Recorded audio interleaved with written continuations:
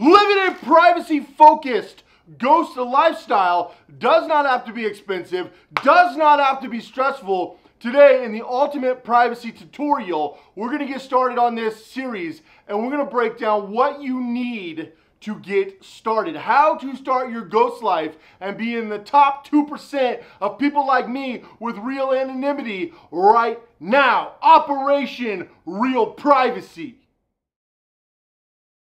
All right, so buckle up. You're not going to want to miss this one. I'm going to break everything down step by step. Also, the first link down below is going to give you a little bit more information on some of the things that I talk about today. So after you watch this video, it'll make more sense and you can check out that link as well. Kind of supports what I'm saying. Anyway, we're going to break down the first seven things in this series today. Ultimately, this is going to be about a four to five part series. So subscribe if you haven't already and buckle up. Let's go. First thing is phone. Smartphone. You need a phone. And we're going to start this series surrounding the phone. Now, what phone should you get? For most of you, I hate to say this, but Android, but not your standard Android. Graphene OS, right? A, OSB, open source. Graphene OS is probably the most common, most widely regarded flavor for a lot of people, especially if you're new. I know we're talking Android, we're talking Google phone, but for a lot of you, if you're just getting a phone. Now, can you do what I'm gonna say with an iPhone if you already have an iPhone? Yes. Can you do it with a, a standard Android? Yes but you are gonna have to really harden your privacy settings. And I gotta be honest with you, I do recommend upgrading to Graphene OS and ultimately probably Linux. I'm currently looking at three different Linux phones digging deep here at Privacy X Project, going through a lot of stuff when we do release these reviews, because I don't do unboxings, I don't do impressions, I only talk about things that I know about on this channel. So there's a lot of good Linux options coming down the pipe. I've talked about some of my favorite phones, I've talked about Clear Phone, I've talked about Linux phones, I've talked about modular phones, but for most of you, Graphene OS. Once you got your phone, whether it's your current phone that you already have right now, maybe you're watching this on your phone, if you're doing that, you need to lock down the privacy settings. I've talked about this for Apple and for Android, so you can check out those videos here on the Privacy X Project or go to privacyxproject.com. Next thing you're gonna need once you got your phone, your basic operating system for your privacy is you're gonna need a VPN. Now what VPN? A lot of good ones, mostly bad ones. VPN is a old corporation company-based product that was repackaged and sold to people when the internet got popular about a private encrypted tunnel. We've talked at length about VPN, so I'm not gonna break down what a VPN is because I've done videos on that, how it works. I've done videos on that. I'm just gonna say I recommend private internet access for the most basic, good quality, non-logging, at least to our knowledge, VPN that you can get affordable and it actually works. There's a lot of VPNs out there that are really good. I recommend a bunch on Privacy X Project, but for the sake of this video, we're gonna talk about private internet access. Next thing, we've got a phone, we've got a VPN, communication. What is the phone for? Now, I'm not gonna touch on social media because if you're using social media on your phone, you clearly don't care about privacy. Using social media is fine. Do it from your desktop, do it from your laptop, log in through a browser, right? There's a lot of ways you could do it. I talk about how I use virtual machines on Tor. I've done tutorials. I talk about Firefox. I talk about uh, the Brave browser. I talk about a lot of other things when you could use your PC and you can lock down a computer, Linux, Apple, or it's hard for me to say. Ah, I can't even say the words. M Microsoft. Uh, yeah, you can you can lock any of those down, especially Apple and, and Linux obviously being the best. Now, Proton Mail you need to have communication. There's a lot of emails out there. I would recommend Proton Mail, even though I have my gripes and my issues with Proton Mail, I do use them. I have multiple email options that I use. I also use four phones. I've talked about this. So I'm really big on compartmentalization. It is very important, but I'm trying to make this tutorial very basic for you and what you should look at getting right now. I don't think you should just be like me and get four phones and get all these gadgets and devices. I run companies online. I make a full-time income online for most of my life.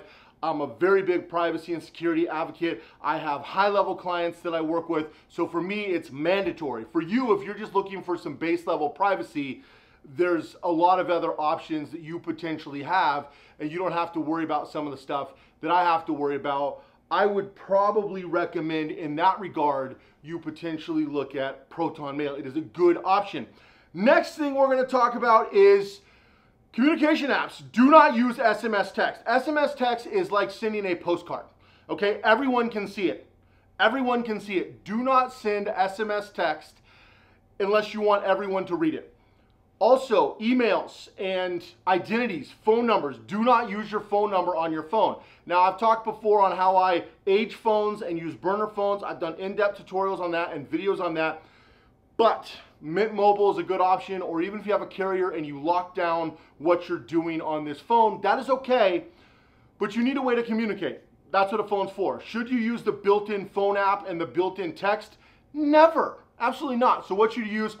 A good basic option to get started is Signal. Now, my gripe with Signal is they, you have to use a phone number to verify.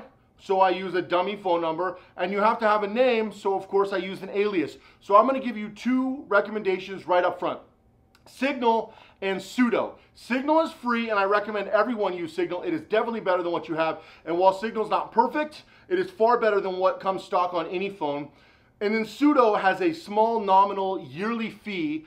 I think the basic plan is literally less than a dollar a month. So I'm talking very nominal fee and you get basically an alias. You have a name, a number, an email. Sudo is a great option and I pair that directly with Signal on all of my different aliases for my different phones. Business phone, you know, personal phone, travel phone, uh, poker phone because I play high level poker, all these different things, right? I break it all down.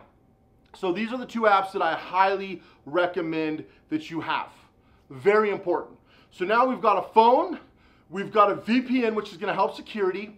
We've got email, which is very important to communicate whether it's personal or business. We have standard communication with phone communication and with text-based communication.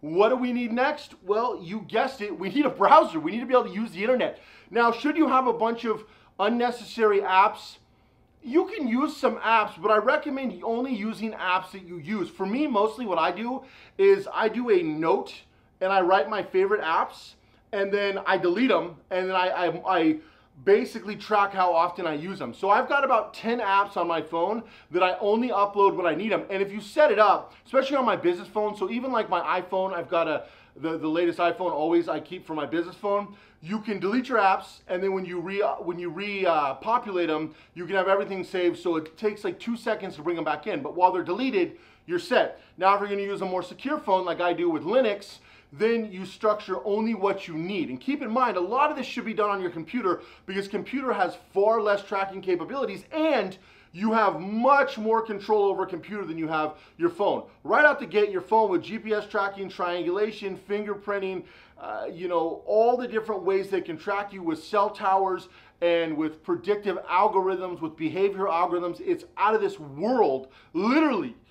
Not to mention Bluetooth, not to, I mean, it's just, I can sit here and name 100 ways your phone can track you. So what we're doing is we're trying to mitigate a lot of that and compartmentalize what we do browsers is where you should be at. What browsers? Well, I've done a lot of videos on this channel about Tor, and I highly recommend Tor. You can download the Tor browser. If you do have an iPhone and you're like, hey, I can't get a Linux phone or a Graphene OS phone right now, use the dot .onion browser. I've done a tutorial on that as well. It's the exact same as Tor. Do not use any of these hocus pocus browsers that talk about how they got VPNs and Tor built in. No. Get the thing at the source. These are a bunch of people, guarantee they're logging your data, guarantee they're logging your information. Get actual Tor or dot .onion on Apple, which is, which is a product produced by Tor for the Apple App Store. And then you've got a browser. Now, is it realistic to use Tor all the time? No, it's not. It's not because, let's be honest, I'm not currently an underworld spy. As much as I would like to be sometimes, I'm just not, right?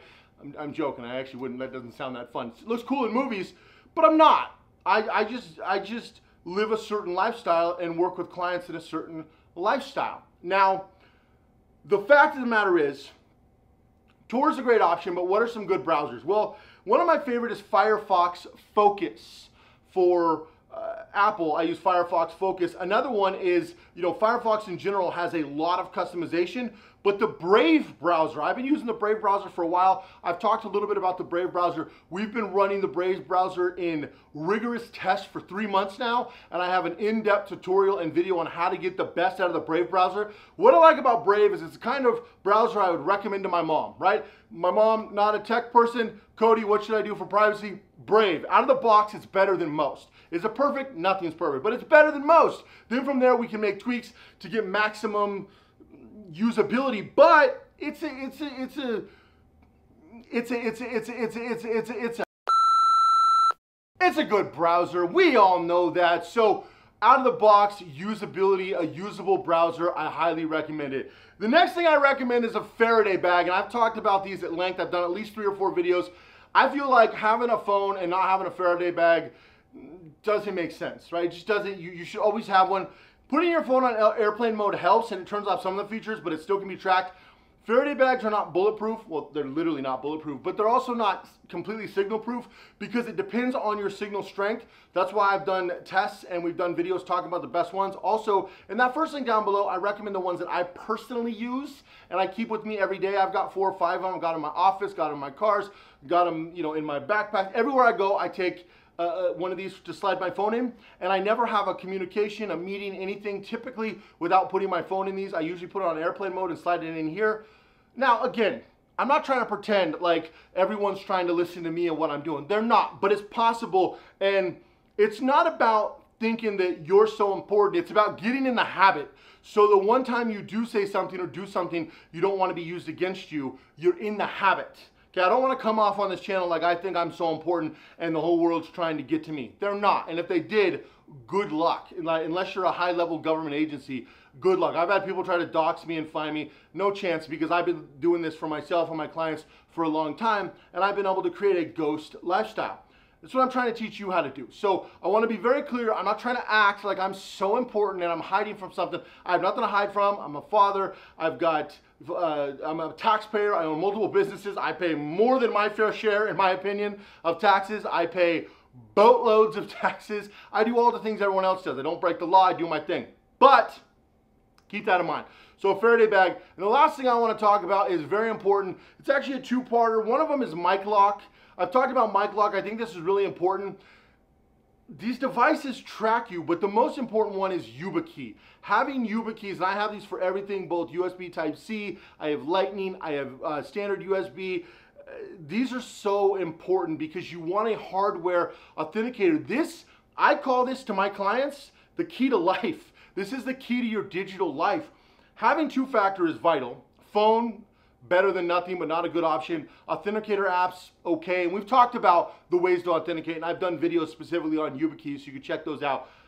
But guys, having one of these is vital for your devices. I use them on all my devices because you you pretty much have to in today's society. It's not if somebody tries to hack you, it's when. It's not if you're a victim of identity theft, it's when. And I hate to sound negative because I'm not, eh, but it's a fact. It's just statistically a fact. It's, it's you know, it's just one of those things where the, the sheer numbers are overwhelming.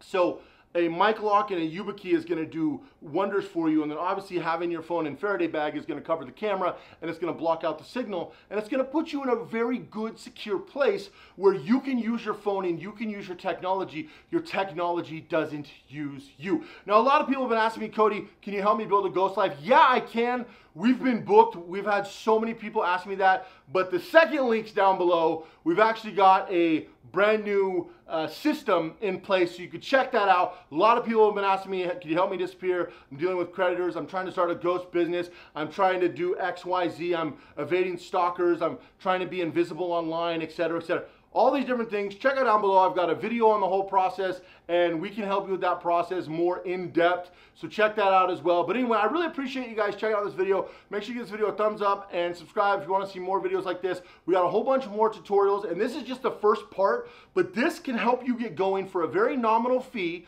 I'm assuming you already have a phone and the next time you do a phone upgrade, do it to a more secure private based phone and the rest of the stuff, I mean, we're talking small amounts of money, guys, for your privacy. I mean, how, it's kind of like putting a lock on your door. Uh, would you pay 250 bucks to put a lock on your door to protect everything you own? Probably, I'm guessing, right? And it's a similar kind of concept. You pay a couple of bucks for these little gadgets and we're not even talking 250 bucks, but you, you pay a, a small fee for them and it protects everything. Mean, how much is the headache worth of dealing with identity theft? How much is the headache worth of dealing with all these different things? It's worth a lot. You'd pay a lot more. So these are a couple tools, and I get these questions every day, so I just wanted to help you guys out. I genuinely do appreciate it. Uh, and yeah, go check out Privacy X Project, first and second link, and I'll see you guys in the next video.